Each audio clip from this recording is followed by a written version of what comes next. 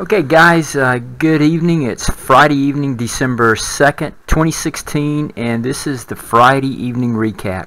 Hey, before we get started, I'd like to apologize for not pushing out uh, as many videos or communiques as I've been pushing out in the past. Uh, just trying to work through several different projects here that uh, that have required a whole lot of time to do. So I'm closing in on those and shouldn't be much longer before I get back to uh, uh, normal production. Anyway, let's uh, let's get started with the recap for tonight. So we'll take a look at that, uh, all of the stats, and Crude's Wild Ride. Alright, so first up is the S&P Futures. So we'll take a look at how the levels held this week.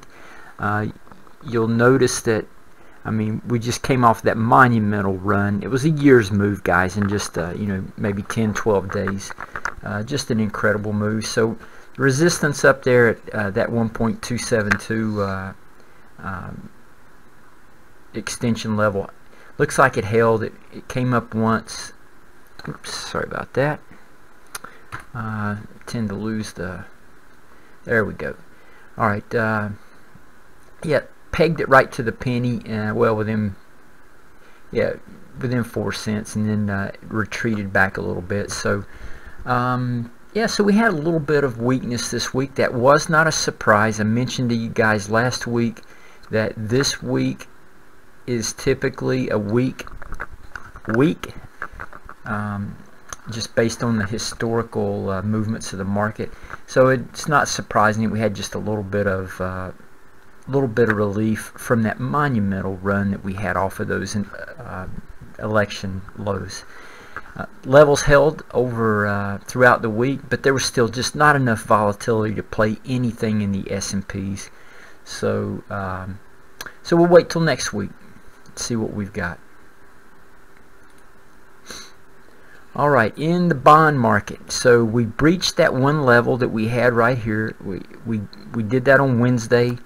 Uh, you know, probed it here, rallied back, came down close below it, went down, went through our first level, caught our danger zone in case you're playing the extremes, and then rallied back up. So, hey guys, these bonds just can't get off of the mat. I mean, they have been manipulated so much. They're dead right now. I mean, they're just absolutely dead.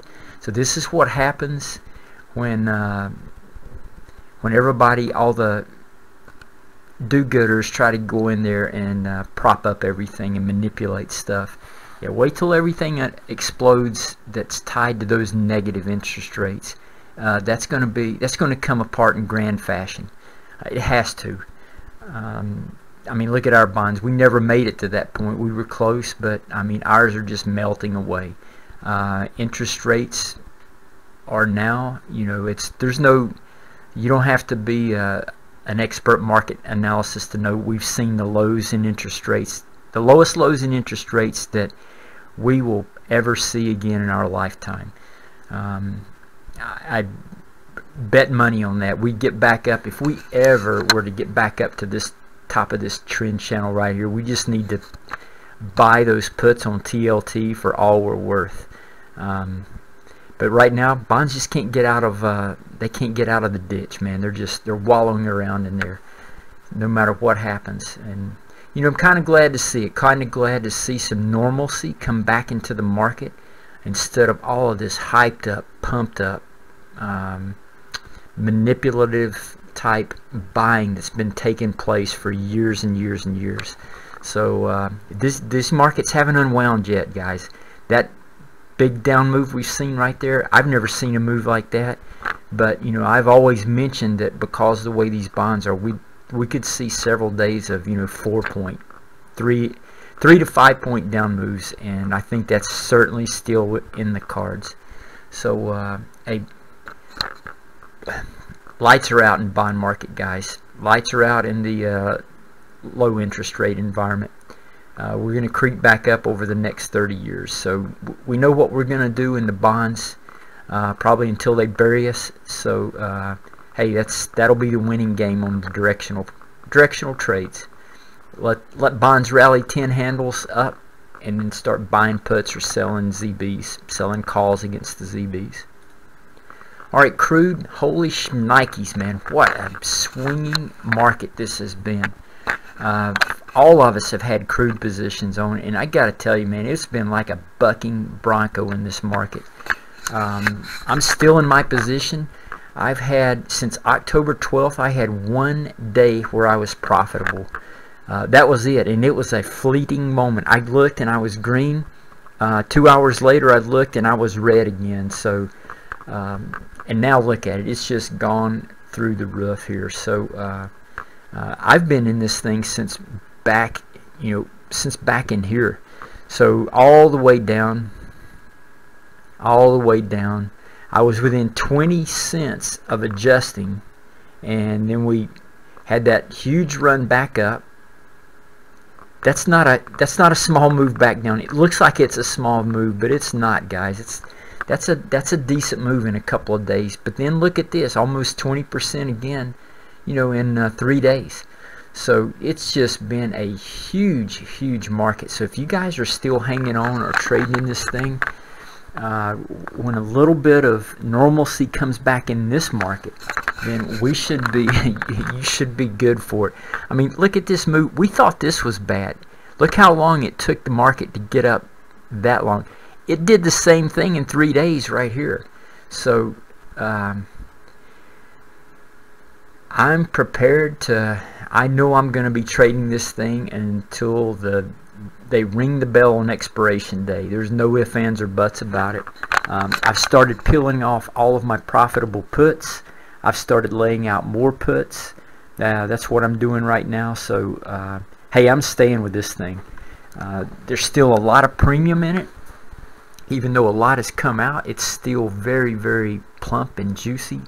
So, uh, yeah, this thing is getting very, very close to uh, a whole lot of short short calls.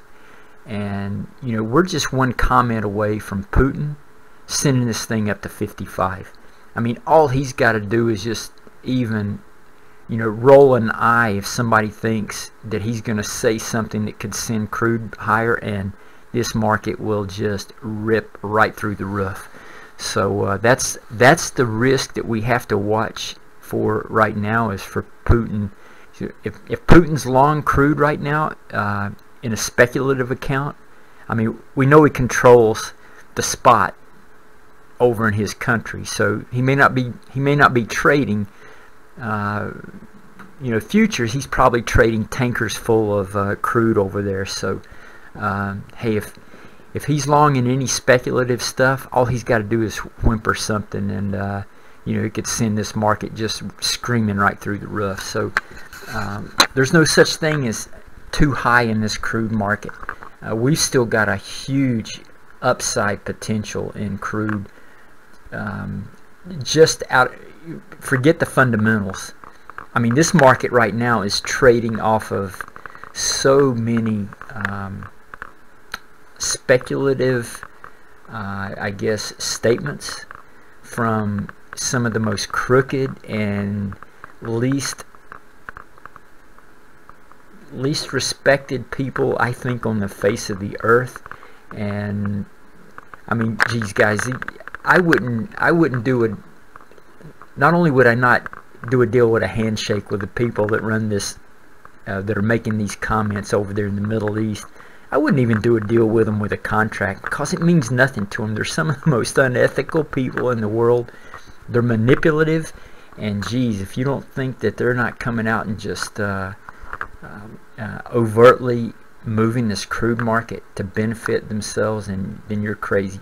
I don't really know a lot about the crude market, but I can see a, I can detect a manipulated market, you know, at uh, at a thousand paces, and this one's being manipulated. So uh, um, at some point in time, it's going to settle back down, and we'll be able to kill it. But uh, you know, I would not put a strangle on right here going forward, I would want to see this market crank back down a little bit, at least get back into a range. I'd say if we get to 46 again, then that's uh, that's a sign to to go ahead and let. I mean, I'm sorry, 49. We get back down to 49. Um, start laying them out. 48, lay them out. So uh, I don't know. I have no idea what crude's doing. It's not trading on fundamentals. It's just rumors and posturing for what everybody believes is going to happen overseas. So watch out for Putin. That's all I got to say. Uh, dollar dollar was a good boy this week. Uh, stayed between the lines. Nothing much to report on. And uh, gold didn't follow the dollar. Um, kind of diverged from it a little bit. Doesn't mean anything. Just didn't follow it like it has been here lately. So Gold caught a bid down here at the first level, uh, rallied back up a little bit, but uh, you know this market's been beaten down pretty badly too. So um, it would not surprise me to see a nice little rally pop in this thing, just a relief rally. You know, a first target be somewhere up here around this um, upper channel. I, I wouldn't put it past, you know, going past the uh, uh, first level next week. We just haven't seen a, a, nice rip to the upside in gold, and you know it's it's due one for sure. So uh, anyway, that is a recap for this week, and let's see if there's anything else. Um, we have the Fed coming out with the interest rate announcement on the 14th. Uh, everybody that's kind of like a lead pipe cinch that they're going to raise. I have no idea what the market is going to do. Uh, I'll try to come up with some trades. We'll, we need to watch IV really closely going into that. Watch IV on gold. We need to watch it on the S&Ps, although I don't think S&Ps are going to get spiked up enough uh, to really make a good play. But you never know. Um, you never know what the uh, trading community is going to do just prior to that Fed announcement. So uh, we've got 14 days to build up to that. I think that's the biggest event coming up. So, um, hey, I didn't.